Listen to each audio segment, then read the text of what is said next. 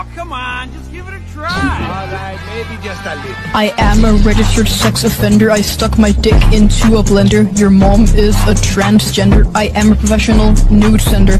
You know that I be dominating. My cock and balls are rotating. I saw my wrist, I could go skating. Between thick thighs, I'm suffocating. I have a huge fucking cock. I'm not in.